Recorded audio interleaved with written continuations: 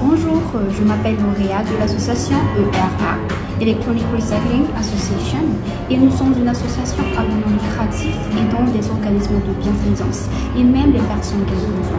Et aujourd'hui, nous faisons appel à l'action au nom des groupes suivants. Le Centre de ressources communautaires du Sud-Est de Calgary a besoin de 10 ordinateurs i5 et de 10 moniteurs pour programmes virtuels. L'Alliance canadienne pour l'autodétermination se concentre sur le changement de notre façon de voir les handicaps et les conditions médicales. Ils ont besoin de deux ordinateurs portables i5 et un tablette pour certains. Si vous ou votre organisation pensez pouvoir répondre à ces demandes-là, n'hésitez pas à nous contacter à info à.